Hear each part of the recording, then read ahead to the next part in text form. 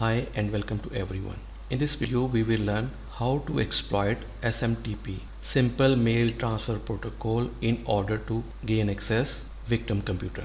Let's start. SMTP Simple Mail Transfer Protocol is an email protocol used for sending email messages from one email account to another via the internet.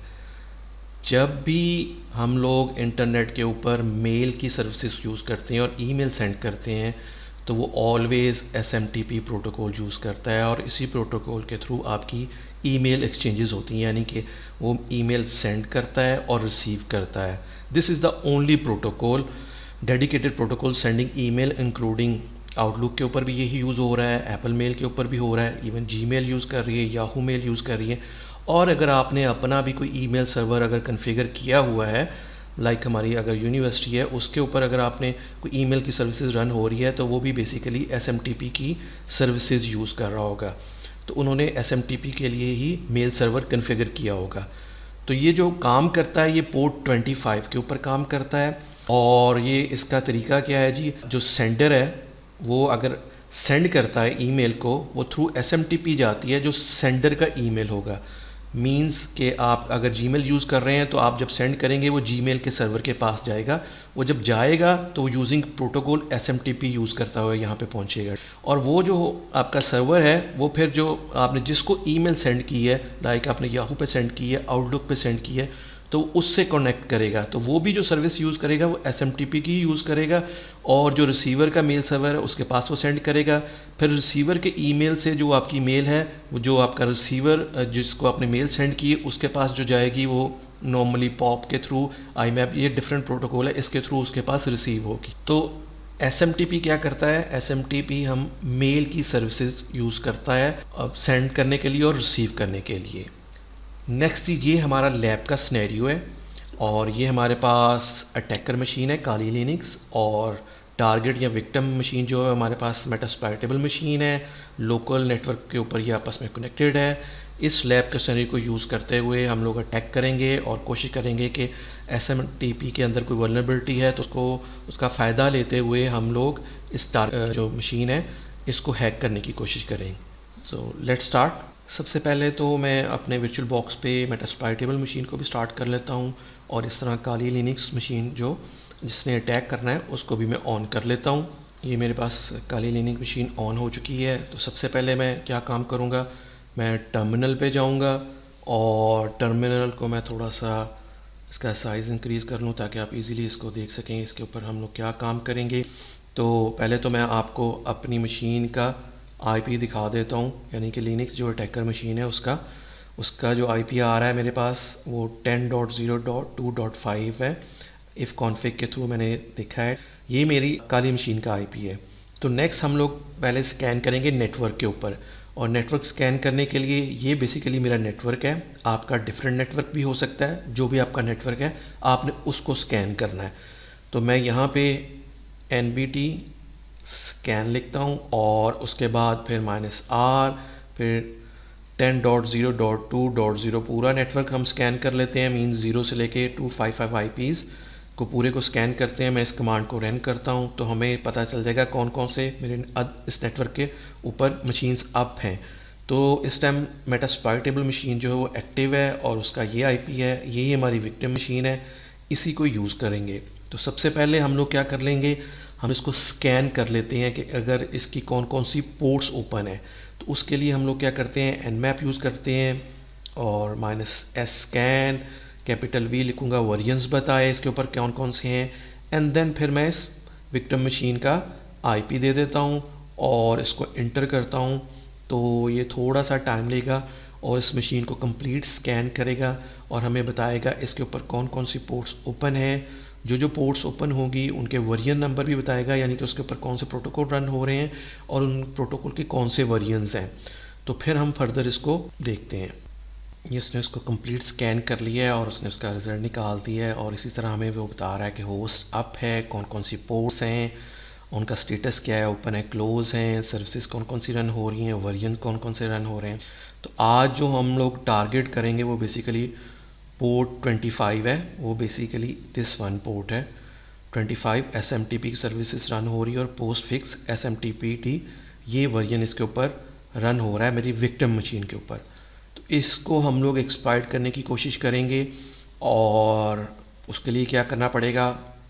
मैं उसी तरह जो हमारा built in tool है meta Metasploit framework Kali Linux के अंदर उसको use करूँगा। या तो मैं एप्लीकेशन में चला जाऊँ और एक्सप्लाइटिंग टूल्स में चला जाऊँ और मेटास्प्राइट फ्रेमवर्क को यहाँ से ऑन कर लेता हूँ। और अदरवाइज़ मैं क्या कर सकता हूँ? इसको मैं यहीं से ही भी ऑन कर सकता हूँ। तो उसकी जो कमांड है वो basically M S F console है, उसको मैं करूँगा और इंटर करता हूँ। तो ये इसको लोड करना शुरू कर देगा। टेक थोड़ा सा टाइम लेगा। ये मेरे पास मेटास्पाइड फ्रेमवर्क वो लोड हो चुका हुआ है। अब हम इसके ऊपर जो काम करेंगे, वही प्रोसीजर कि आप सबसे पहले तो हेल्प ले लें ताकि आपको इसकी कमांड्स फर्दर पता चल सके, ठीक है?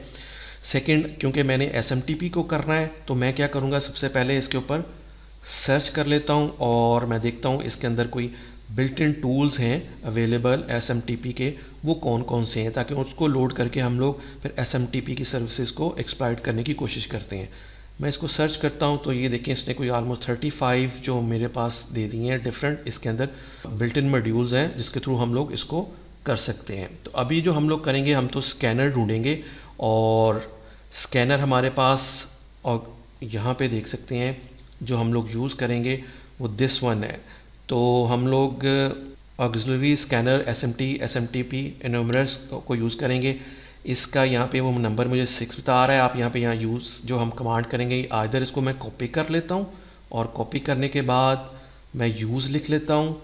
और जब मैंने सर्च की थी तो नंबर सिक्स पे था, यहाँ पे मैं सिक्स लिखूँगा, तब भी वो इसको लोड कर देगा। अदरवाइज़ आप इसको मैंने जो कॉपी किया है इस मॉड्यूल को, आप यहाँ पे लिख के भी इसको इंटर करेंगे तो वो इसको लोड कर देगा। अब हम फर्दर देख लेते हैं कि इसके अंदर ऑप्शंस कौन कौन सी हैं और कौन सी ऑप्शन हमें कन्फिगर करनी है इस मॉड्यूल को रन करने के लिए ताकि हम विक्टर मशीन पे अटैक कर सकें। तो मैं इसको इंटर करता हूँ। तो ये मुझे डिफरेंट दे रहा है। लेट मी डू मुझे इसको थोड़ा सा साइज़ इसका छोटा कर लेने दें ताकि आपको डिटेल में पता चल जाए कि इसकी क्या क्या चीज़ें हैं। तो मैं इसको करता हूँ। स्क्रीन को साइज़ का थोड़ा सा इंक्रीज़ करता हूँ। तो आप यहाँ पे देखें, वो मुझे बता रहा है कि आर होस्ट चाहिए। रिमोट होस्ट चाहिए येस फिर पोर्ट चाहिए, उसने ऑलरेडी 25 कन्फिगर की हुई है. थ्रेड उसने ऑलरेडी किया हुआ वन इसकी वैल्यू दी हुई है. और रिमेनिंग जो वैल्यू है, वो भी उसने यहाँ पे डिफ़ाइन की हुई है. तो मुझे क्या करना पड़ेगा? सिंपल इसके अंदर एक ही कमांड देनी पड़ेगी, जो कि रिक्वायर्ड है करंट सेटिंग के लिए, कि मुझे रिमोट होस्ट यानी विक्टम मशीन जो है, उसका देना पड़ेगा. तो मैं सेट कर लेता हूँ आर होस्ट ठीक है? और उसका आईपी क्या है? Ten dot zero dot two dot four है। इसको मैं इंटर करता हूँ तो उसने यहाँ पे देखें उसने इसको सेट कर दिया है। इसको मैं दोबारा से शो ऑप्शंस पे जाता हूँ तो आ, हम देख लेते हैं कि आप देखें कि यहाँ पे उसने यहाँ पे इसको सेट कर दिया है। पहले यहाँ पे ऊपर देखेंगे तो उसने आर होस्ट को यहाँ पे नहीं किया हुआ था लेकिन करंट सेटिंग में उसने आर होस्ट रिमोट होस्ट को भी सेट कर दिया है। तो इसको थोड़ा सा साइज़ इसका मैं इंक्रीज़ कर लेता हूँ दोबारा से ताकि हम इसको देख सकेंगे ये कैसे काम करेगा। तो अब जो मुझे काम करना है सिंपल मुझे, क्योंकि मॉड्यूल रन लोड हो चुका हुआ है, उसकी रिक्वायरमेंट जो है ऑप्शंस के अंदर, वो भी हमने सेट कर ली हैं। तो सिंपल मुझे रन की कमांड देनी है। तो उसने इसको स्कैनिंग इसकी स्टार्ट कर देनी है। इट्स मीन इसने इसको एक्सप्लॉयड करना शुरू कर दिया और एक्सप्लॉयड कर दिया है। यहाँ पर आप देख सकते हैं कि उसने मुझे एसएमटीपी का सर्वर का एड्रेस भी दे दिया है, उसका आईपी भी दे दिया है और उसका पोर्ट एड्रेस भी दे दिया है। जब हमारे पास ये इन्फॉर्मेशन आ जाती है तो हम फिर इसको कनेक्ट कर सकते हैं। अच्छा इसको एक्सेस करने का जो तरीका है तो आपको क्या करना पड़ेगा? आपको एक, हम लोग नई विंडो ओपन कर लेते हैं। उसका साइज़ भी मैं थोड़ा सा इंक्रीज़ कर देता हूँ और इसके अंदर हम लोगों ने इसको एक्सेस कैसे करना है? तो इसकी जो कमांड है वो नेट कैट वो उसकी कमांड मैं बताता हूँ। एन लिखेंगे और उसके बाद जो भी मेरी विक्टिम मशीन है ten dot zero dot two dot four है और स्पेस देने के बाद जो प्रोटोकॉल है, यानी कि पोर्ट लिखनी है, वो बेसिकली 25 है एसएमटीपी इसके थ्रू हम लोग इसको कनेक्ट करने करते हैं। इसको मैं क्लिक करता हूँ तो देखिए उसने इसको कनेक्ट कर दिया है मेटास्प्लाइटेबल लोकल डोमेन एसएमटीपी को, ठीक है? जो एसएमटीपी की कमांड्स हैं, जो कमांड लाइन पे यूज़ होती हैं, वो कौन कौन सी कमांड है, वो हम लोग देख लेते हैं। यहीं पे इसको सर्च कर देता हूँ और मैं आपको दिखाता हूँ कि ये देखिए मैंने इसको इंटरनेट पे सर्च किया। तो 14 different S M T commands हैं जो हम लोग कमांड प्रॉब्लम के थ्रू यूज़ कर सकते हैं। जैसे कि हेलो है मेल है रिसिप्ट है, ठीक है? ये हम यूज़ कर सकते हैं। डाटा है क्विट है रीसेट है वेरीफाई है। वेरीफाई करने इस हाईली रिकमेंडेड कमांड ठीक है? और ये डिफरेंट 14 कमांड्स हैं, इनको हम लोग यूज़ कर सकते हैं इसके ऊपर चेक करने के लिए। तो मैं इसको अभी हम लोग चेक करते हैं कि कैसे करेंगे। जैसे कि मैं अगर वेरीफाई करता हूँ वी आर एफ़ वाई और उसके बाद अगर मैं देखता हूँ कि इसके ऊपर माई एस कौन सा रन हो रहा है मैं वो लिखता हूँ तो वो मुझे ये बता रहा है उसका डिटेल बता रहा है। इसी तरह मैं फ़र्दर इसका डैमन चेक कर सकता हूँ तो मैं उसको करता हूँ V R F Y and then फिर मैं इसका लिखता हूँ daemon D E A M O N तो वो भी मुझे बता देगा इसके डेमन रन हो रहा है। अच्छा आ, ये मुझे बता रहा है कि daemon recipient address rejected user unknown है ओके एक्चुअली यहाँ पे मैंने जो डेमन है, उसकी कमांड रॉन्ग दी है तो मैं इसको दोबारा से आपको करके दिखाता हूँ कि मैं वी आर एफ़ वाई लिखता हूँ। तो डेमन्स है D A E M O N वो इंटर करता हूँ तो ये देखिए उसने मुझे उसको, उसकी इन्फॉर्मेशन भी दे दी है। और इसी तरह मैं क्या करता हूँ, कुछ और कमांड भी दे सकता हूँ, जैसे मैं कहता हूँ वी आर एफ़ वाई मुझे इसके ऊपर पोस्ट ग्रेस जो है उसकी सर्विस अगर रन हो रही है तो उसके बारे में भी मुझे बता दे। तो वो भी उसने मुझे बता दिया, इसको कनेक्ट कर दिया, ठीक है? और इन द एंड मैं क्या कर सकता हूँ? इसको क्विट कर सकता हूँ। तो क्विट लिखता हूँ तो उसने बाय कर दिया तो उसने उसको वहाँ से क्विट करके बाहर निकलाया है। तो हम इसको क्विट कर सकते हैं। So this is the way आप किसी भी मेल सर्वर अगर रन हो रहा है तो उसको हम लोग थ्रू मेटास्प्लाइटेबल किस तरह एक्सप्लाइट कर सकते हैं? तो हम लोगों ने सिंपल एक मॉड्यूल लोड किया है एसएमटीपी का उसके मेटास्प्लाइट फ्रेमवर्क के अंदर जाके, और उसको रन किया है, और इस तरह हम लोगों ने एसएमटीपी की जो पोर्ट 25 है, उसको एक्सपाइट किया है, और उसकी एक्सेस ली है।